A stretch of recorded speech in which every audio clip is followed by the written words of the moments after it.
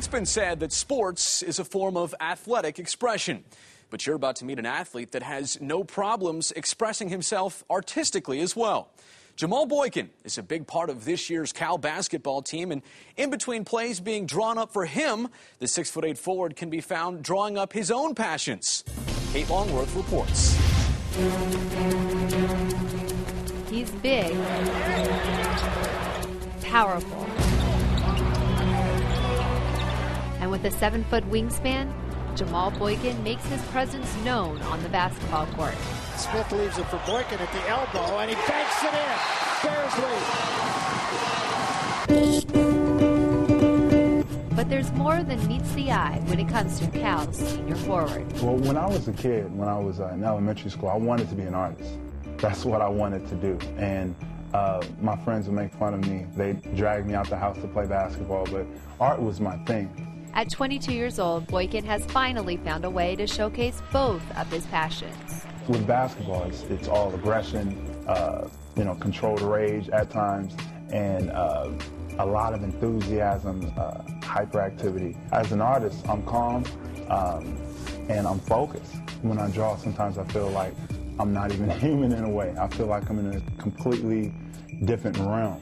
Boykin set many goals out here on the basketball court, but in 2009, he also set a New Year's resolution to create 44 pieces of artwork in honor of America's 44th president, Barack Obama. I want to do something um, that uh, I feel over time uh, would be positive to me spiritually as well as a person. So I went to Walgreens.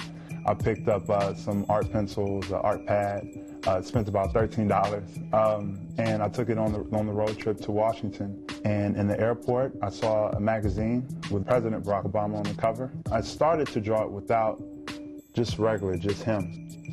But I felt it would be more powerful to draw it if I cut it in half and drew the rest.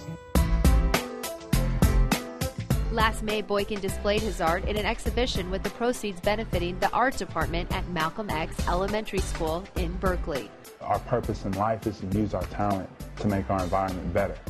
And uh, basketball is a talent of mine, and there have been outlets uh, where, where, we as a team have given back to the community. Most people just see an empty canvas. What do you see when you tear out these clippings from the magazine?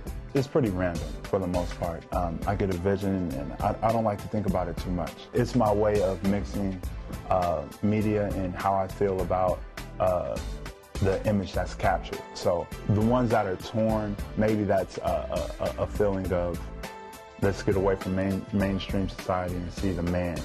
Um, and that's my take on it. Due to NCAA rules, Boykin can't sell his artwork for a profit, but money is not his motivation. I love them all. they really are like my children. And to sell the original one, I couldn't even imagine uh, a, a price that I could be comfortable with that which is crazy, but I don't know. I just feel this connection with them. And I remember I, I used to carry them in my backpack wherever I went. And, uh, you know, it, it, was almost like I had like a, uh, like a child or a million dollars, something like that. He's a proud parent off the court and a potential millionaire on it. Boykin's future is beginning to look like a slam dunk.